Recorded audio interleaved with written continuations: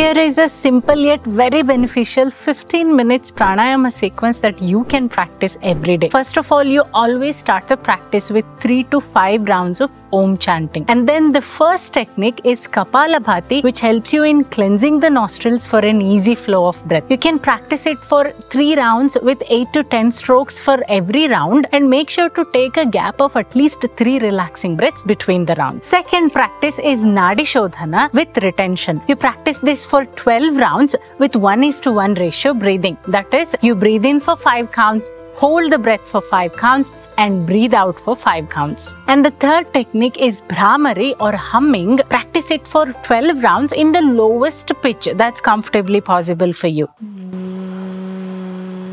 And lastly, five minutes of breath awareness practice. It's kind of meditation. So, for this, you sit up straight with your eyes closed and simply begin to observe the natural flow of breath at the tip of your nostrils. Like I said, it takes less than 15 minutes, but it can recharge you for the entire day. Well, read the description for more practice details. And if you are not familiar with any of these techniques, then let us know that in the comments and we will make a detailed video on it. And save this for your practice reference and do not forget to share this with everyone you know.